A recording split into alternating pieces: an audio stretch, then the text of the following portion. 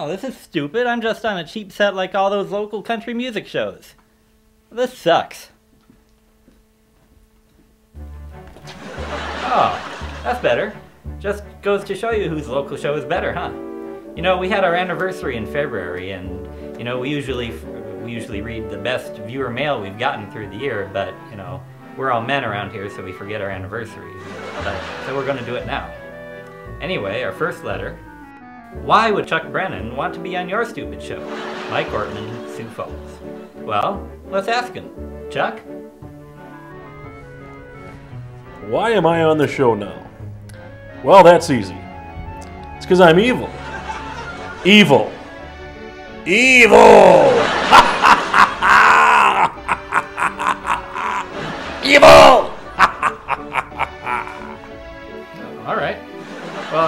Letter. Uh, why is Mr. Helper on the show less and less anymore? And that's from Daryl and Verna Helper, oh, Canton, South Dakota. Well, let's bring Mr. Helper in himself, and we'll find out. Hello there. Hi. What? I said hello. Hello. How are you? Fine. Any, anyway, answer the question of the viewer. What? He wants to know why you're not on the, show anymore. Well, your parents, actually. Well, I'll tell you about it. It's because of this. This this hurts. Look at it. Look at this. It's sharp. Look at that. Look at. Oh, there it is. Look at that. It really hurts. So that's why my bucket hurts. So I don't want to be on your stupid show anymore. Oh, whatever. Get off the stage. you You can't say that on PAX. Oh. You going or what? Anyway, our third letter is from Penny Pearson in Aberdeen, and she writes, Scott is always playing a gay man on the show. Is he really gay? Well, probably, but I don't know. Scott, come in here. This, uh, this Penny Pearson, Mhm. she wants to know if you're gay. Hmm, that name sounds familiar, but I can't quite figure out why. Well, uh, Penny Pearson, uh, brought this uh, footage of my basement. Now let's take a look at this. And as uh, you can see, do you think any gay guy would have a basement like this? Uh, no, I guess not. Well, Nope, that's true. uh, well, you can leave. Okay, all right, see ya. Yep.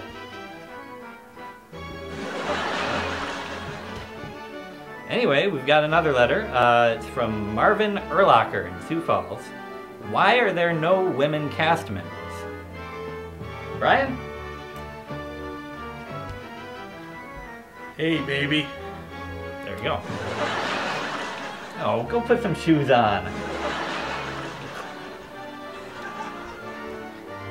Anyway, so there you go. We've got uh, four literate uh, viewers out there. That's pretty good. That's better than like uh, hot country videos or something. I think. So there you go. Whatever.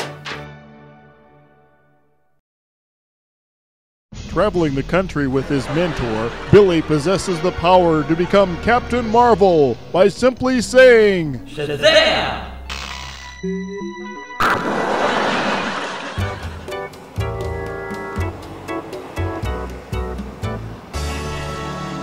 Well, Billy, here we are driving around in our van, looking for our next adventure. I sure do like adventures, mentor. But it's such a quiet day, I'm sure nothing's going to happen. This is a perfect time for me to practice playing my notes.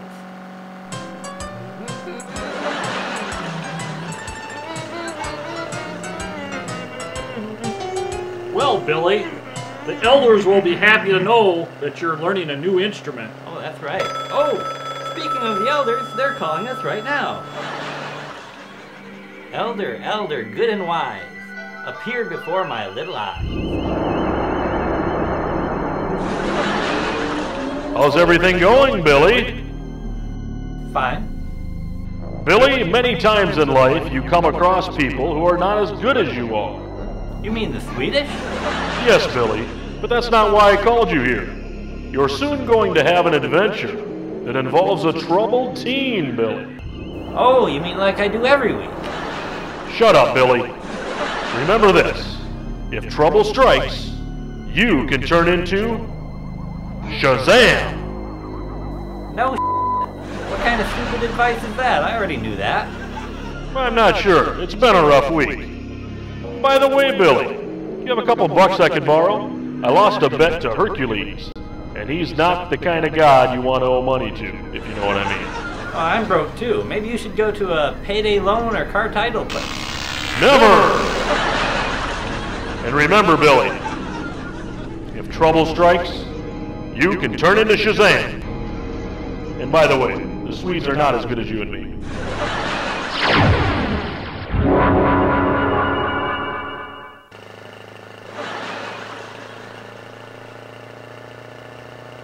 Oh, well, Billy, what did the elders tell you this time? Oh, well, mainly he just wanted to borrow money. Cheap ass elder. Always wanted to borrow money.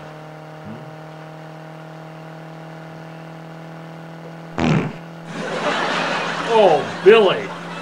We better pull over to this scenic area and let the van air out. That's a good idea, Mentor.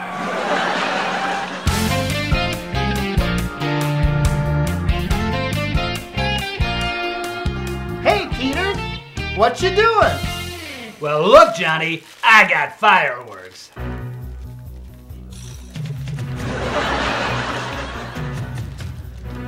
Fireworks? But Peter, we're not supposed to use those without adult supervision. Well, Johnny, what are you, chicken? Come on, let's go light these. Light the fireworks? I don't know. Oh, come on, you scaredy cat. Let's go. Nobody will know. Nobody calls me a scaredy cat, Peter, because I'm not one. Well, okay, Johnny, let's, let's go light these then. Well, I don't know if it's a good idea, but I'm no scaredy cat. You can't say that to me. Well, come on, Johnny, let's go light these. I mean, they've got to be safe. They're from Sweden. What are you teens up to? Yoink. Hey, you teen, are those Swedish fireworks? Listen, son, those are Swedish fireworks. You could get severe burns. You could have loss of hearing. You could danger someone else. You shouldn't play with those. Especially without proper adult supervision. Oh, those dirty Swedes! Swedes?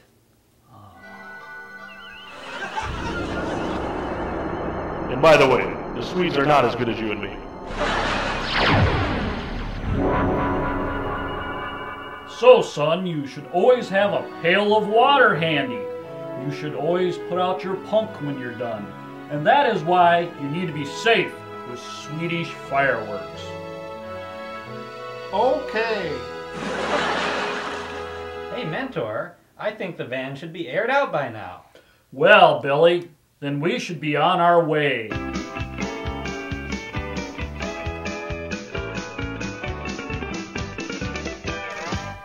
Peter, what's up? Well, hey, Johnny, let's go light these fireworks, man. These are these high quality Swedish fireworks. Nothing goes off like these babies. Nobody's gonna know a thing if we do it. They're really safe. I know how to be safe with fireworks. I mean, uh, we can be really safe and have a lot of fun with these, and nobody will know. So let's go. Come on, Johnny, let's go do these fireworks now. I wanna go do the fireworks. Let's go, Johnny. Come on, let's go. Come on. Are you a scaredy cat or what? I don't know, Peter. Maybe we should just stay in school.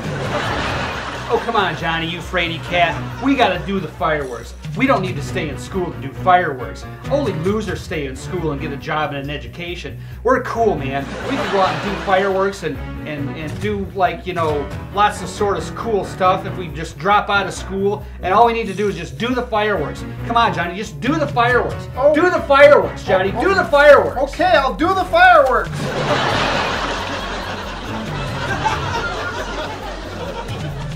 No, you idiot, that's not what I meant. I meant light the fireworks, like this.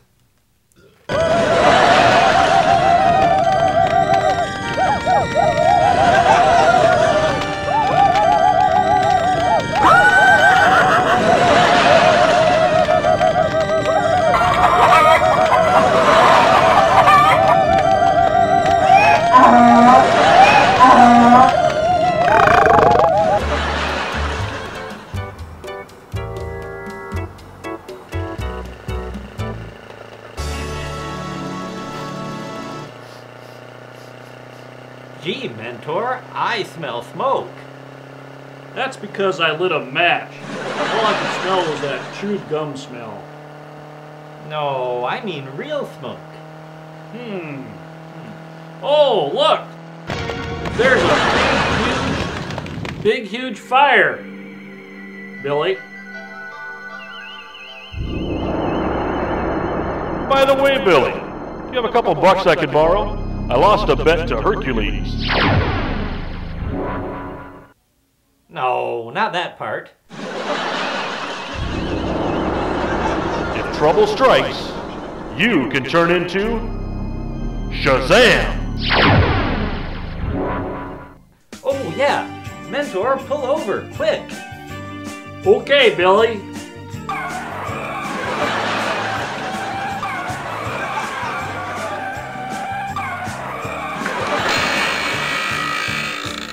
Shazam! Ah,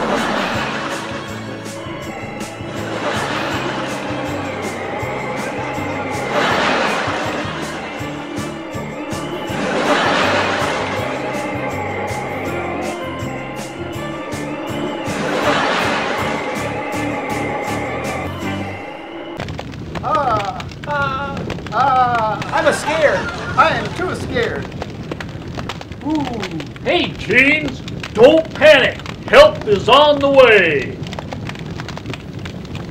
You mean Captain Marvel? How did you know? You got that big Shazam thing on the front of the car in there. Say, how come Captain Marvel turns from that short skinny guy into that short fat guy anyway? Where is Captain Marvel anyway? Well, teens, look up in the sky. There he is.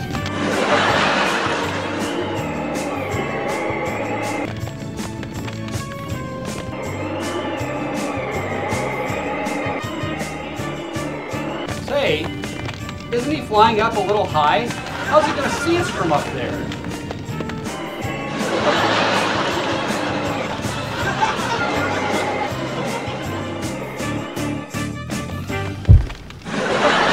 Captain Marvel! Wow, Captain all, Marvel. All glad! Yay. Yay! Agreed.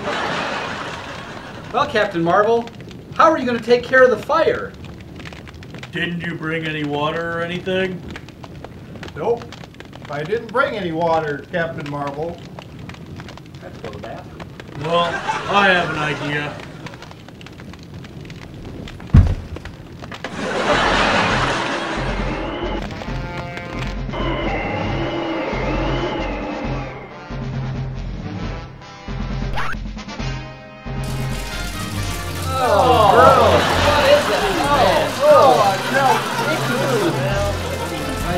Potty only ickier. Oh, look, the fire's not there anymore. Oh wow, that's good. Good. It smells like when the boys pee on the radiator in the bathroom. Oh, yay! We are glad you did a good job, Captain Marvel. What lessons have you learned from this, young teens? The Swedish are not as good as us. And by the way, the Swedes are not as good as you and me. Say, where's Billy at? Here I am. Get out of here.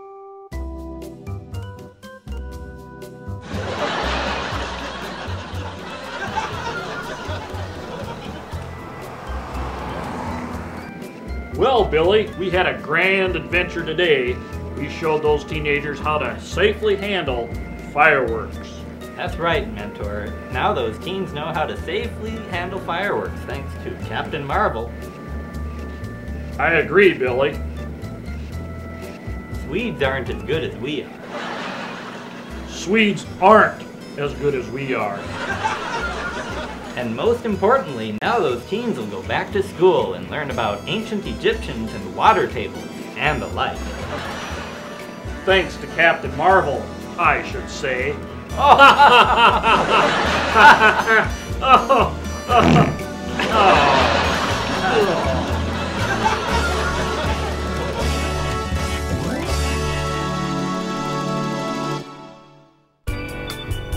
Today we learned that Swedes are not as good as you and me. And we learned that, uh, well, we're 30 seconds short this week. Um, so I'm supposed to stand here and say something clever. Yeah, right. You know, um, the, them water tables and those Egyptian pharaohs, that, that's important stuff to know because then you can put out the fire in the pyramid. Uh, Today's celebrity newsmakers want to tell their story, there's one man they tell it to, and that man is Stephen Trudeau. And now, the Stephen Trudeau interview special. Hello, and welcome to a very special episode of the Stephen Trudeau interview special. I am your host, Stephen Trudeau. And today we come to you from outside the Minnehaha County Jail here in Sioux Falls, South Dakota, where former governor and congressman and current convicted felon Bill Janklow is serving his 100 day jail sentence for killing a uh, motorcycle rider. So let's go in right now and talk to Bill Janklow. And welcome to my show. Hi. Okay? And how do you like being in jail? Uh, I get a, get a little bit of time to work on the packs. But, besides that, uh, I'd like to be out. And what do you do in jail every day? And I get up. Uh, I go to the showers then. That lasts a good half an hour. And then afterwards, I have a breakfast. Then I just work on the pecs all day. As you see, I've buffed up quite a bit. Okay. And how is your driving school going? I, I still have I still have it running. I still see some profits from it. I mean, that seems to be about my only source of income now. Okay. And that has been former governor and congressman and current convicted felon Bill Janklow at the Minnehaha County Jail. I am Stephen Trudeau. Thank you for joining me for the Stephen Trudeau interview special.